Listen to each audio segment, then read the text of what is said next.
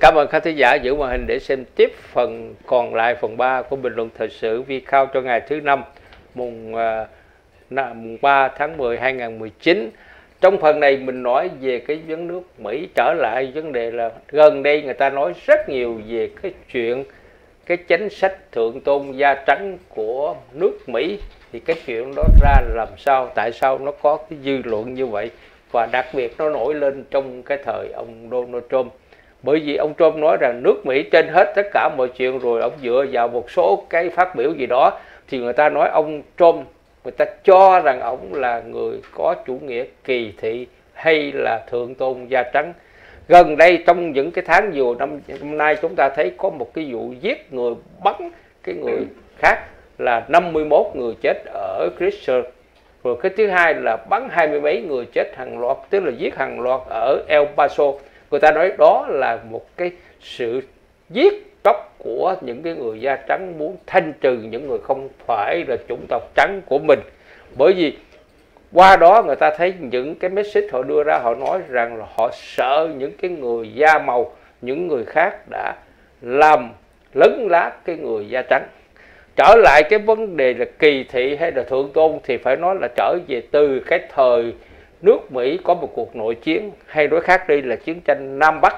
Cuối cùng là người miền Nam thua, người miền Bắc thắng. Nhưng mà rồi hòa giải và để cái hình ông Robert Lee làm cái hình người ở đó sau này, thì có những cái cuộc biểu tình rồi dời cái người đó đi để, nhưng mà ông Trump lại lên tiếng nói có vẻ binh vực. Thì người ta nói rằng đây là một cái kỳ thị để mà đề cao cái người da trắng. Thì do đó chúng ta thấy là rải rác rải rác trong những cái năm vừa qua thì nó, tình hình nó chuyển như vậy. Những cái người da màu thì họ mới nói rằng là, những người da trắng xin lỗi, họ nói rằng là cái tinh thần đầu tiên sau cái vụ mà chiến tranh Nam Bắc thì những cái người da trắng muốn bảo vệ cái sự thuần hóa hay là cái sự ưu việt của da trắng. Cho nên họ không thích giao quyền cho cái liên bang, mà liên bang thường là họ nghi ngờ là à, họ dính tới cái da màu nhiều hơn. Và họ chuyển dương cái tinh thần của cái tinh thần Tây Âu. Tây Âu là những người da trắng nhập cư đầu tiên tạo nên nước Mỹ. Và họ đề cao vai trò của đạo tin lành tức là muốn giao cho tin lành. Như vậy cái da trắng nó dính với cái văn hóa Tây phương Âu Tây Âu dính với người tin lành. Và sau này thì họ lại nói lên những cái điều là họ rất là yêu cầu hay là họ không thích mở rộng ra để chính sách di dân. Và cái sách di dân đó là đưa người hồi giáo vào, đưa người latino vào, đưa các những người khác vào. Và đưa những cái người như là là do thái vào. Thì họ liệt những người đó là những cái người xâm lăng vào cái nền văn hóa của người da trắng. Do đó chúng ta thấy là cái cái vấn đề phân biệt chủng tộc nó xuất phát từ lâu trong cái nguồn gốc của người Mỹ. Nó dính tới cái lịch sử của nước Mỹ, nó dính tới vấn đề chủng tộc da đen. Và bây giờ nó không còn giữa trắng và đen nữa. Nó dính tới cái vấn đề người Latino. Nó dính với vấn đề là những cái tôn giáo không phải là tin lành.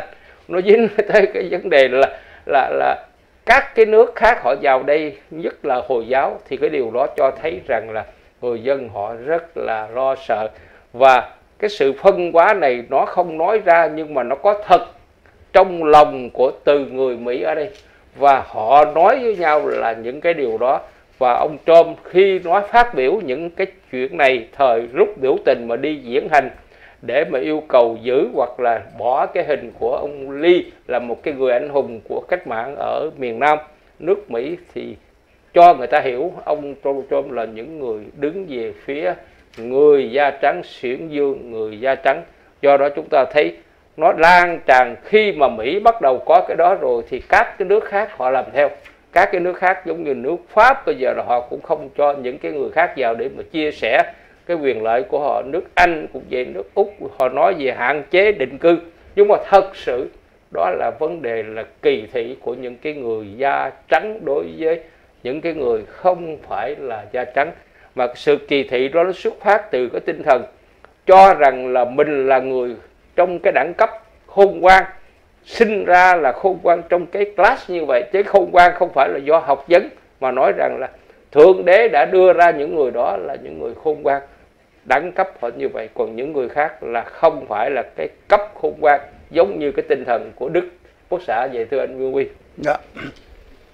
Trong cái lịch sử mà phát triển của Hoa Kỳ đấy chúng ta nhớ rằng là cũng hiểu rằng là tất cả những cái người mà đến khai khẩn khai thác khám phá ra cái miền đất này đó thì rõ ràng là người da trắng.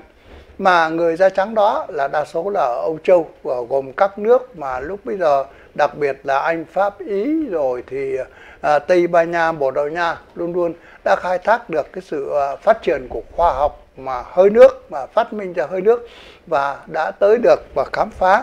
Nhưng mà bây giờ có một cái câu hỏi như thế này.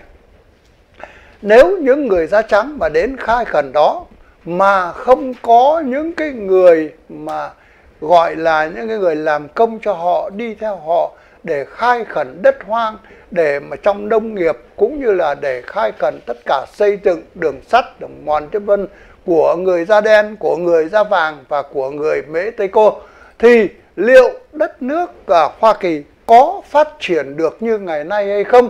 Với một cái sức lực của cái người da trắng, nó hạn chế, lúc đầu tiên là chỉ có ba cái tiểu bang mà thôi, và rất là nhỏ. Về sau này vì có những cái di dân từ phi châu sang, cho nên chúng ta mới thấy rằng là đất nước hoa kỳ nó mở rộng ra mua thêm những cái phần đất của mấy tây cơ, mua thêm phần đất alaska của nga, vân vân, thì chúng ta mới thấy là đất nước như vậy. Vậy thì cái đất nước hoa kỳ mà chúng ta nếu mà công bình ra thì chúng ta phải nói rằng là đây là một cái sự mà cộng tác đồng đồng sinh, đồng tử với nhau giữa những người da trắng và những người da màu khác nhau có một cái sự phân biệt thì như thế này. Chúng ta nếu có thì chỉ là phân biệt những cái người da trắng đã có cái công sức mà tạo dựng ra đất nước này cũng như là có công sức để mà à, phát triển những cái công kỹ nghệ những cái tiến bộ mới nhất về văn minh của nhân loại vào cái cuộc sống và cái sự phát triển của đất nước Hoa Kỳ. Mà trong khi đó thì có thể nói rằng là tất cả những người da màu khác thì là chịu cái phận là đi theo những cái điều sáng kiến và những cái điều thiết lập của người da trắng để mà cùng góp công phát triển cái đất nước này lên. Như là chúng tôi chúng tôi đã nói cũng đấy như là người da đen như là người da vàng Trung Quốc đã đến trong cái hệ thống à, thành lập hòa xa của trên rộng rãi toàn khắp nước Mỹ như chúng ta biết hiện nay và người Mễ Tây Cơ thì ai cũng hiểu rằng là nếu không có người Mễ Tây Cơ không thể nào có một cái sự phát triển về nông nghiệp cũng như là chăn nuôi như phát triển như hiện nay và với những cái kỹ thuật cao cấp của uh, những cái đầu óc của người da trắng mà vào. Và nên, nên mà chúng ta trong cái ý nghĩa đó và cái câu hỏi đáp lại à, cái câu ờ, trả lời mà chúng tôi đặt ra lúc nãy cái câu hỏi đó thì trong mùa Thanksgiving này có lẽ chúng ta cũng nên là nhớ đến công lao của tất cả những người, những màu da đã làm nên đất nước Hoa Kỳ này, chứ không phải là chỉ có riêng người da trắng mà thôi.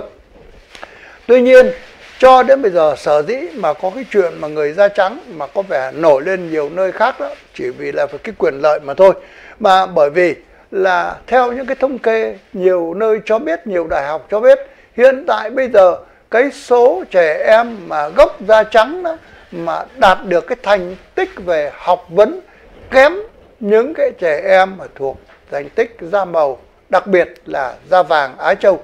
Thì thưa quý khán giả, đó là một cái điểm mà cái người dân da trắng rất là lo lắng và nếu một mai mà những cái trẻ em mà da màu khác mà đạt được những cái thành tích thông minh giống không những giống như của người da trắng mà còn vượt lên trên người da trắng nữa thì tất nhiên là cái chuyện mà người da trắng trong một cái tiến trình sinh hoạt đó sẽ bị đào thải chứ không phải không.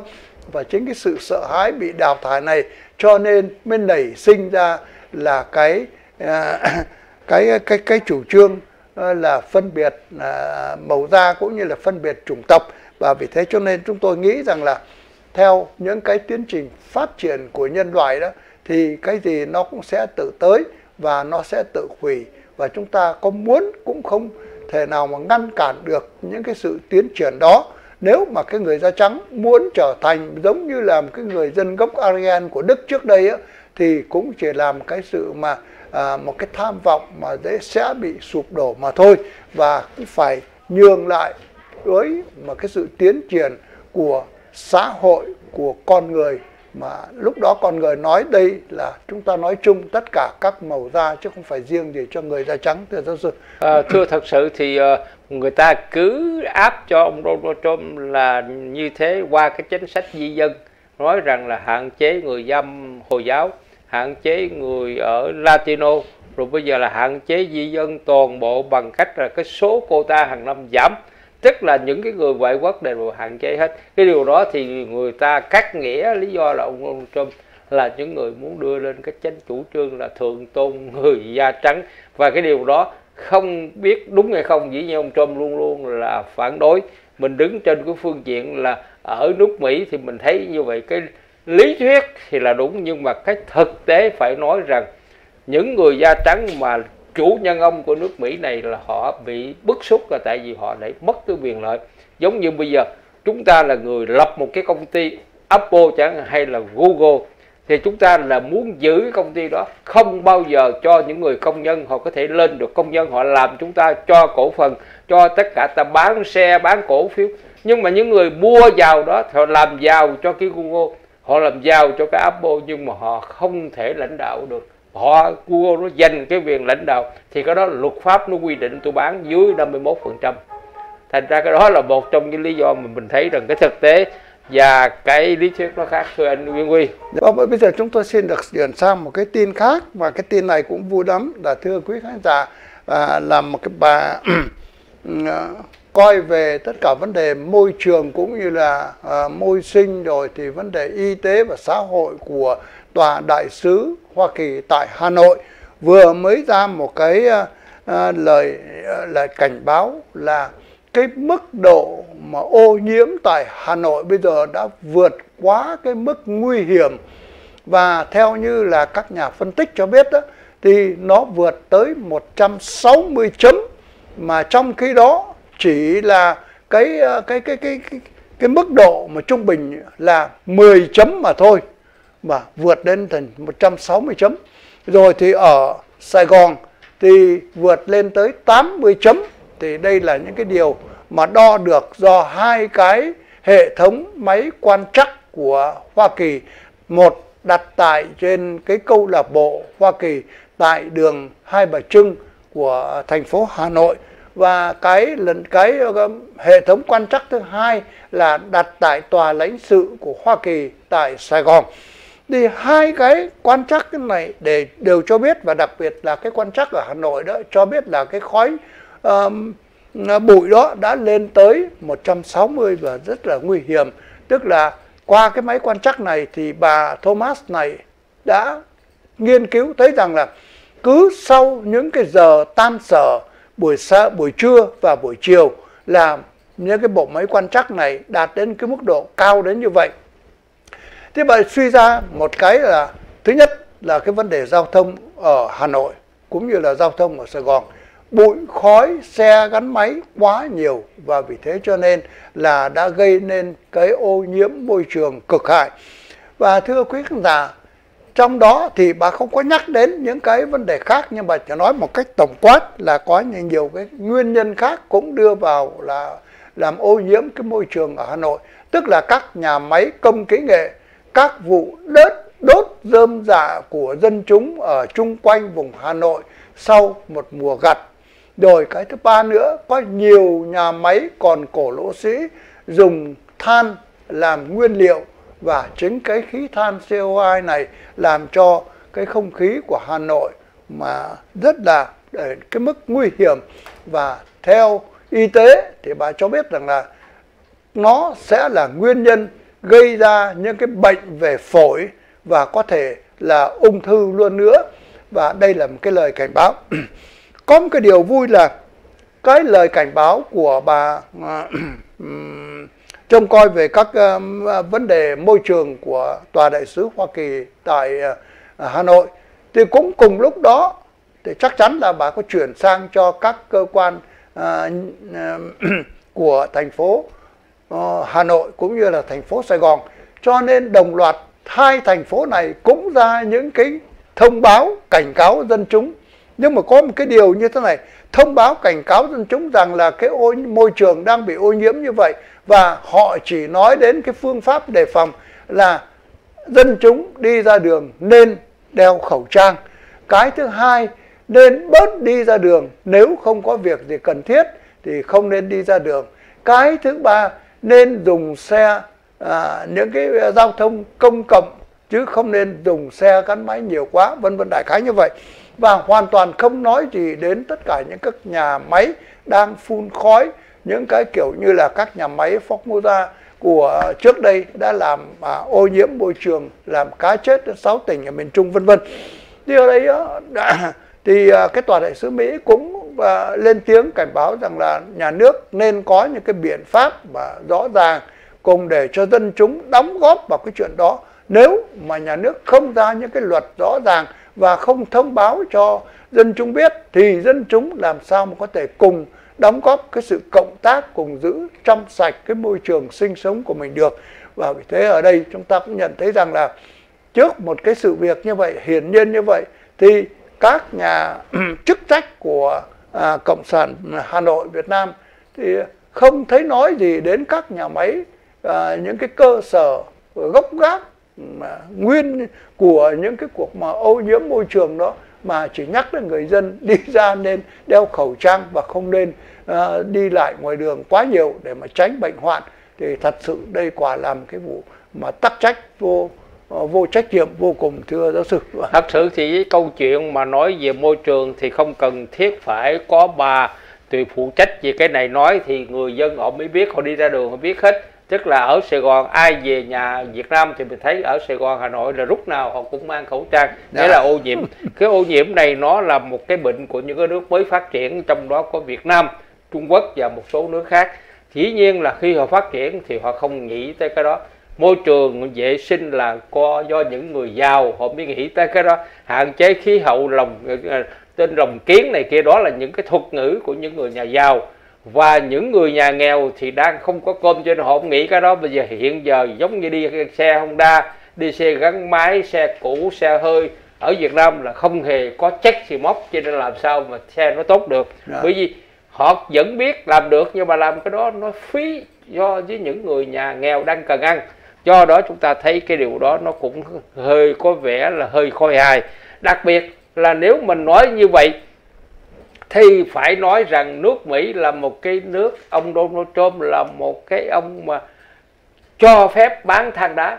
Bây giờ là cho khai than đá, và than đá là một cái nơi nó phát ra cái CO làm cho ô nhiễm. Ở nước Mỹ thì người ta không xài, có thể nếu người ta xài, người ta làm cái hệ thống cao lên để khỏi nhưng mà ở với những cái nước như Việt Nam thì làm gì họ làm được như vậy? Do đó cái môi trường mà hãy bán thì bán cho những cái nước đó. Mới đây Việt Nam mua rất nhiều than đá của Mỹ để mà để cho cân bằng cái vấn đề mậu dịch thiệt hại mậu dịch. Như vậy thì mình thấy những cái điều ông nói cho, bà nói cho Việt Nam thì nó lại đi ngược lại những cái ham muốn của Mỹ.